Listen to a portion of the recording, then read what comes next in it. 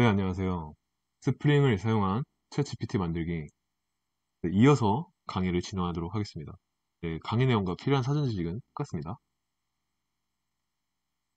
네, 이번 편에서 이제 다뤄볼 내용은 API 키 설정 및 제작한 ChatGPT 기능 코드 분석이고요.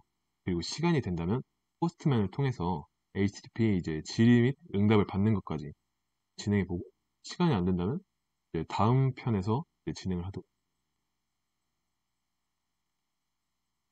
네, 먼저 푸는 API 키를 설정해야 합니다. 이제 API 자체가 무료로 5달러만큼 사용할 수 있게 해주지만 이제 기본적으로는 유료로 사용하는, 사용하는 것이기 때문에 사전 자격이 필요합니다. 그래서 절대 자신의 키를 유출해서는 안 되고 받은 키는 다시 확인할 수 없으니까 이제 메모장이나 이런 곳에 기록해 두시기 바랍니다. 사실 기록하지 않더라도 키를 삭제하고 다시 발급받으면 그때 다시 확인할 수 있는데 그래도 적어 놓으시는 게 이제 같은 일을 반복하진 않겠죠? 그리고 이제 키를 유출하게 된다면 다른 사람이 그 키를 사용하게 된다면 돈이 제 돈에서 빠져나가요. 그래서 절대 절대로 유출해서는 안 됩니다. 저도 그래서 지금 방송하는데 이 키가 유출되지 않도록 유의할 예정이 유의할 것입니다. 첫 번째로 저기 아래 사이트에 접근해 줍니다. 그럼 바로 이렇게 사이트가 나올 거예요. 그러면 이제 원래 이제 챗GPT를 사용하셨던 분들이 이제 대부분이긴 할 텐데, 이제 원래 안, 사용하지 않으셨던 분은 회원 가입을 해주고 이제 이 페이지를 눌러주시면 됩니다. 저기 보시면 저 노란색으로 표시한 데 보이시나요? 네, Create New key를 이제 클릭한 후에 저기 이름만 적어두고 네, 자신의 이름을 적는 게 아니라 이제 키의 이름을 적는 거예요. 원하시는 별명이 있으시다면 이제 키 별명을 지어주고 Create secret key를 눌러주시면 아래 같이 설정이 됩니다. 네, 여기 가려둔 이유는 당연히 아시겠죠? 여기에 키가 어느 정도 나와 있는데 제 개인정보를 지키기 위해서 키, 네, 메모를 걸어놨습니다. 그래서 키가 생긴 것을 확인하시고 만약에 실수로 이제 키를 어디다 기록해 두시지 않으셨다 한다면 이제 저기 삭제 버튼을 누르시고 다시 발급받으시면 확인할 수 있습니다. 그래서 다음으로는 이제 진짜 코드를 작성한 것을 하나하나 확인해 보면서 이제 어떻게 backend가 돌아가고 어떻게 ChatGPT를 사용할 수 있는지 확인할 건데 시작하기 앞서서 Spring에 대해 기초 지식, bean 등록, 뭐 bean container 이런 것들에 대해서 알고 계시다는 가정하에 설명할 예정입니다. 그리고 Spring에 대한 인터넷 자료가 정말 방대해졌어요. 또 이제 저희 나라 대부분의 이제 우리나라 대부분의 이제 대기업은 Spring을 사용하기 때문에 블로그로 진짜 정말 많으신 분들이 고급 정보들을 적어 놓으시거든요. 그거를 보시면서 제 코드에서 모르는 분이 모르는 것이 있다 하면 이제 그대로 이제 채팅 치, 그대로 검색하시면 나오니까 당황하지 마시고 차근차근 하시면 될 것 같습니다. 또한 제가 기세 코드를 올렸는데 그걸 확인하시면 진행하시면 도, 큰 도움이 될 것입니다. 네, 프로그램 분석을 하기 전에 이제 큰 구조부터 봐야겠죠. 네, 그림을 제가 그려긴 했는데 좀 간단하게 그리긴 했는데 살펴보겠습니다. 네, 저기는 졸라맨이 당연히 user겠죠. user가 프롬프트를 입력합니다. 그럼 그 프롬프트에서 프롬프트마다 이제 원하는 기능이 다 다를 텐데 그 기능을 controller에서 구별해 줍니다. 그래서 어? 이 기능에는 이 서비스가 필요해. 해가지고 그 서비스에 대한 구현체, 그 서비스 implementation까지 전달해주고 그 서비스 implementation은 이제 REST, REST template, 그러니까 RESTful API를 사용하기 위한 REST 템플릿을 통해서 이제 ChatGPT API가 데이터를 주고받습니다. 그래서 그 받은 정보들을 이제 다시 서비스 컨트롤러 통해서 이제 유저에게 보여주는 네, 그런 구조를 확인할 수 있습니다. 이 구조를 기억하셔야 돼요. 네, 다 기억하셨나요? 넘어가겠습니다. 네, 먼저 첫 번째로는 유저에서 컨트롤러로 가는 거. 아까 설명드린 걸 좀 자세하게 설명한 건데 사용자는 API로 프롬프트를 입력하여 API 콜을 수행한다. 네, 컨트롤러에서 서비스로 가는 과정은 네, 컨트롤러에서 해당 endpoint를 받아주고 서비스를 다시 호출한다. 그 다음에 서비스에서 서비스 implementation, 그 다음에 ChatGPT 서비스 implementation은 이제 REST template를 사용해서 ChatGPT secret key와 이제 함께 주요 정보를 전달합니다. 그리고 다시 응, 받은 응답을 이제 ChatGPT 서비스 implementation, 그다음에 컨트롤러, 구조 이 과정을 통해서 응답 결과를 반환합니다. 이 구조를 생각하시고 이제 코드를 한번 보기 시작하겠습니다. 네, 먼저 디렉터리 구조입니다. 이렇게 오른쪽 화면을 보시면 먼저 Spring Boot ChatGPT는 이제 전체 그냥 패키지를 의미하는 거고 저기 config, controller, DTO, 그다음에 서비스 이 세 가지의 이제 패키지가 확인할 수 있을 겁니다. 네 번째 첫 번째로는 config는 이제 동기식 HTTP 이제 통신을 위한 클래스를 관리하는 디렉토리예요. 그 HTTPS 통신을 위해서 사용하기 위해서 아까 말씀드린 이제 REST template 그리고 이제 HTTP 이제 헤더 그리고 저희가 아까 발급받은 키, 뭐 이런 것들이 들어있는 디렉토리겠죠? 두 번째로는 컨트롤러입니다. 클라이언트와 통신하여 endpoint를 제공한다. 즉, 클라이언트가 보낸 명령어를 분석해서 endpoint를 제공, 즉, 거기에 맞는 서비스를 제공하는 역할하는 디렉토리라는 거죠. 밑에 설명에 나와 있듯이 이제 요청에 따라 맞는 서비스를 요청한다. 그 요청을 서비스에 이제 전달한다는 의미죠. DTO. JSON 형태로 요청 및 전달 데이터를 객체화시키는 모델 관리. 어, 받아온 데이터를 좀 더 깔끔하게 JSON 형태로 이제 다시 응답하기 위해서 만든 클래스라고 보시면 되고요. 마지막으로는 서비스. ChatGPT를 이제 처리하기 위해서 OpenAI로 호출 및 응답을 받아오는 디렉터리라고 보시면 됩니다. 네, 이거는 필요 라이브러리인데요.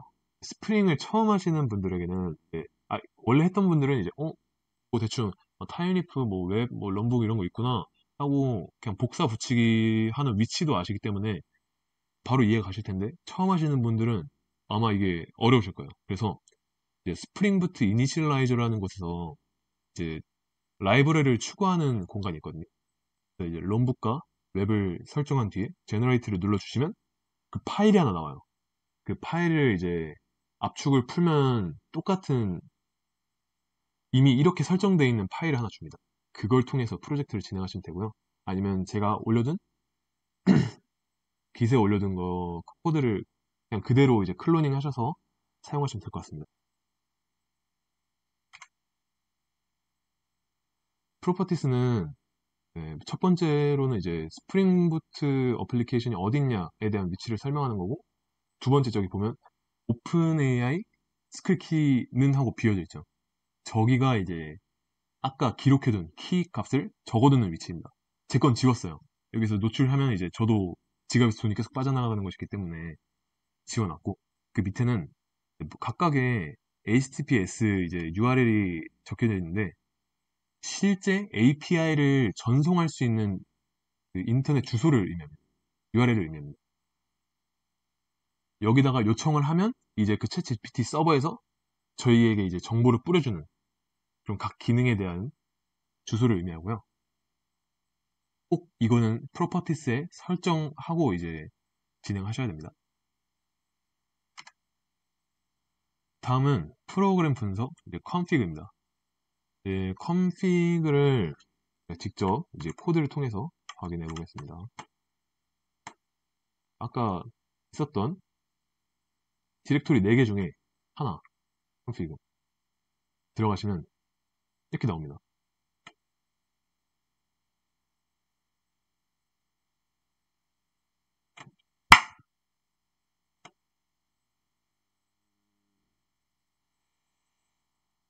하하하하.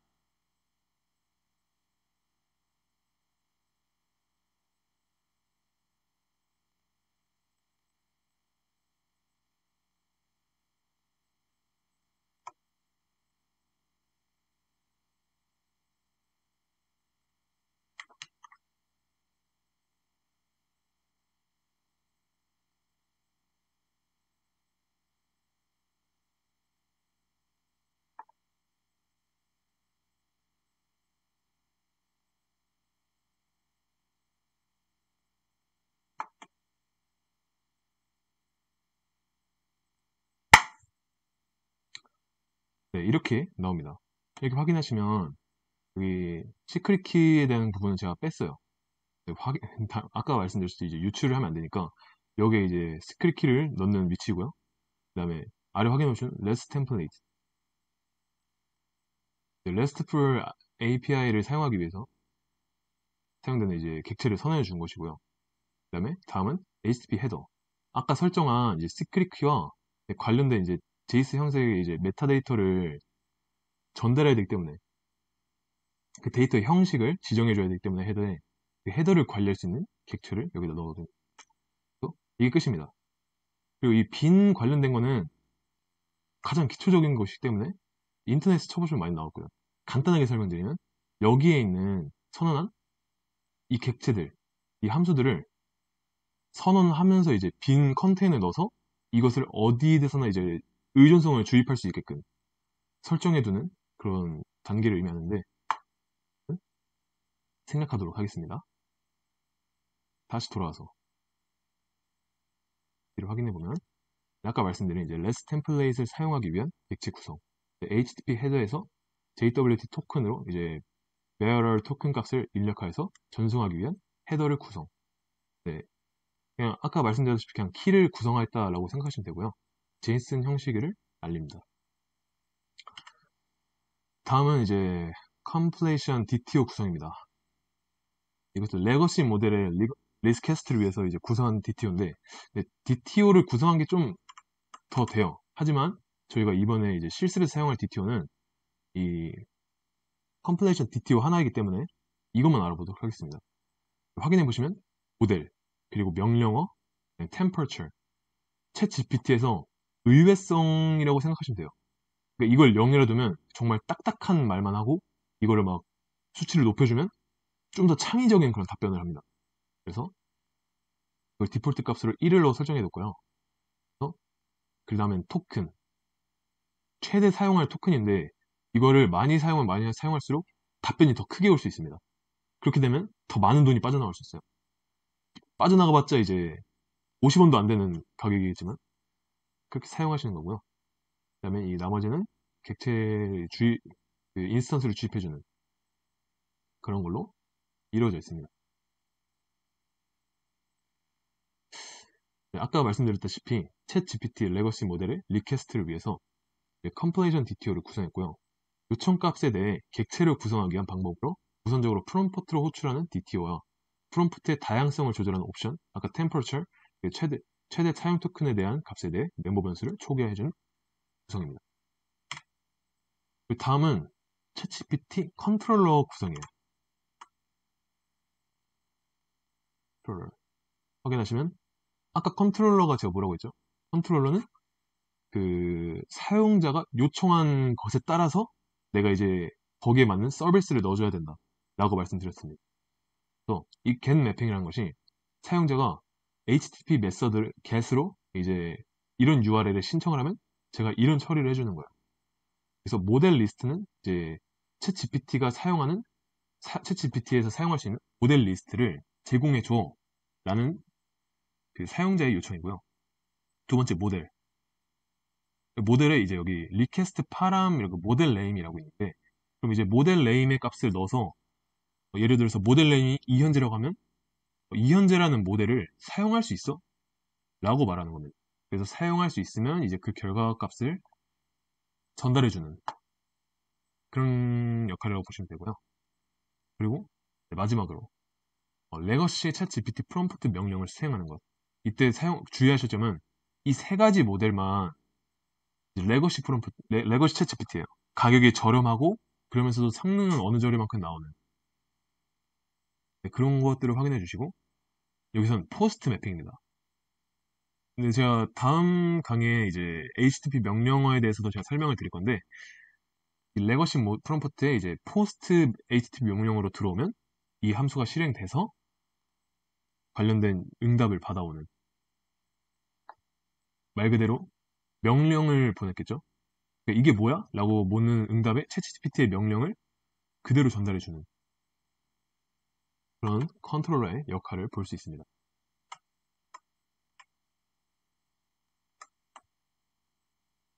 여기서 확인하면 이제 아까 말씀드렸다시피 endpoint 모델 리스트에서는 이제 get 매핑을 들어오고 여기서는 endpoint로 들어온다.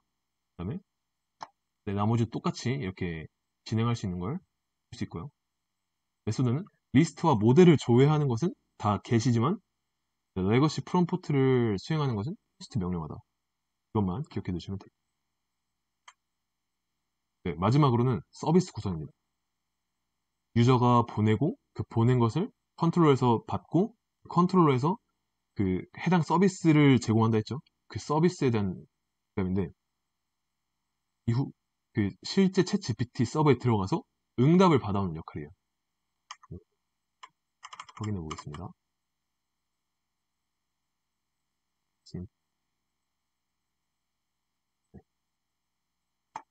확인하시면 이 각각 실제 그 API에 대한 것들을 이제 확인할 수 있고요. 모델 리스트라는 명령어가 실행되면 이제 header를 그 config로 바꿔주고 바꿔온 것을 이제 REST template에 이제 저장합니다. URL과 그다음 method와 이런 것들을 저장해서 object mapper를 통해서 이제 응답값을 가져오고 가져온 응답값을 이제 출력을 한다. 이렇게 로그를 통해서 출력을 한다고 확인하시면 되고요. 그리고 이 로그에 관련된 거는 Lombok, Lombok에서만 사용할 수 있는 이제 SLFJ라고 있는데 이런 것도 이제 확인해 보시면 좋을 것 같습니다. 다음으로는 이제 모델 컨트롤러가 들어왔을 때 실행시키는 명령어인데 is invalid model 아까 이, 이 현재라는 모델을 사용할 수 있어? 라고 했을 때 model name을 가져와서 이 현재라는 model name을 가져와서 이제 위에서 했던 것과 이 위에서 했던 것과 똑같이 config를 통해 header를 설정해 주고 그 헤더에 대한 그 URL과 그런 형식들을 지키면서 다 설정해 준 후 그다음에 object mapper를 통해서 그 결과값을 받아옵니다. 그래서 이를 또 출력하는 반환하는 역할을 하는 거고요. 그리고 마지막은 legacy 프롬프트 실제 챗 GPT의 기능이죠. 그래서 먼저 이 위 사전 단계는 다 똑같아요. 왜냐면 이제 Open API에서 제공하는 해, 형식을 따르기 위해서는 헤더도 똑같고 당연히 이런 구성 방식이 다 똑같겠죠. 하지만 URL만큼 다르다. 저희가 application property에서 아까 설정해줬던 이 위 URL 있죠. URL마다 제공하는 기능이 각각 다 다르다. 그 때문에 이것만 구별을 해준다면 웬만하게 다 통일돼서 사용할 수 있습니다. 하지만 여기서 주의할 건 post. get이 아니라 post mapping이다. post method다. 이거를 알아주시면 좋을 것 같습니다. 그래서 이것을 응답을 RestTemplate을 구성하고 그것을 접속해서 이제 ObjectMapper를 통해서 받아온다. 그리고 그거를 다시 리턴, 컨트롤러의 리턴. 이렇게 다시 받, 그 컨트롤러부터 받은 method를 받은 파라미터를 다시 ChatGPT에 전달하고 그 다음에 ChatGPT에서 처리한 그 응답을 다시 받아서 컨트롤러에 다시 반환하는 그런 역할을 하는 게 이제 service implementation이라고 보시면 될 것 같아요. 여기 서비스는 네, 여기는 인터페이스죠. 나머지 다 구, 아까 여기 이름에서 유추할 수 있듯이 구현체로 시켜놨기 때문에 더 쉽게 활용할 수 있을 것 같습니다.